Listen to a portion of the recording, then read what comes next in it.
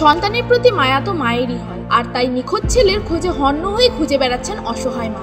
হাতে নিখোঁজ ছেলের ছবি নিয়ে এক প্রান্ত থেকে আরেক প্রান্ত ছুটছেন সন্তানহারা মা। সূত্রের খবর প্রায় দু মাস আগে গোয়ালপুকুর শাহাপুর এলাকায় এক চায়ের দোকানে কাজ করে বাড়ি থেকে বেরিয়েছিল রহমান নামে চোদ্দ বছরের ওই কিশোর। তারপর সে আর বাড়ি ফেরে গোয়ালপুকুর থানায় একটি লিখিত অভিযোগ দায়ের করেন ওই কিশোরের মা মানোয়ারা। নিখোঁজ কিশোরের বাড়ি গোয়ালপুকুর থানার দক্ষিণ শাহাপুর এলাকায়।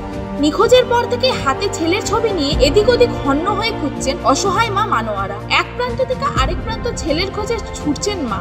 নিখোঁজ রহমানই ছিল পরিবারের সম্পদ কারণ রহমানের বাবা গত তিন বছর আগে মৃত্যু হয়ে যায়। তারপর থেকে সংসারের হাল ধরেন রহমান। হঠাৎ ছেলে এইভাবে যে নিখোঁজ হয়ে যাবে ভাবতেও পারেননি কিশোরের মা। সেই দিন থেকে নিখোঁজ রহমানের ছবি হাতে নিয়ে খুঁজে বেড়াচ্ছেন তার মা। ছেলে খোঁজ করতে আজ ইসলামপুর বাস টার্মিনাসে দেখা যায় রহমানের মাকে। ছেলেকে কোথাও দেখতে পেলে জানাবেন এই কথা সাধারণ পথ চলতে মানুষের কাছে তুলে ধরেন তিনি। পাশাপাশি ছেলের খোঁজ পেলে এই মোবাইল নম্বরে নয় সাত সাত পাঁচ চার সাত দুই নয় ছয় পাঁচ জানানোর আবেদন রাখেন মা মানোয়ারা।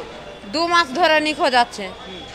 দু মাস ধরে নিখোঁজ আছে বাচ্চার নাম রেহমান আর গ্রাম সাহাপুর পোস্ট সাহাপুর বাচ্চাটা আজকের বারে হারালছে বুধবারে আর আজকের বারে দিয়ে দু মাস হইল বাচ্চা হারা।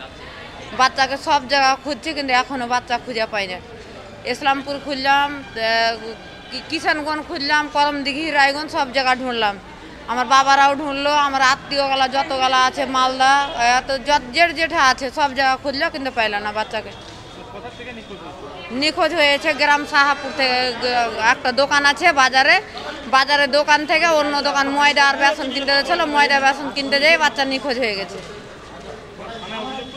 থানায় অভিযোগ করেছে, থানাওয়ালা বলছে যে হারা পাইলে পারে, আমি তো জানাব। এখন পা- পাওয়া যায়নি। না, পাওয়া যায়নি। আমার ছেলের নাম রেহমান। Manowara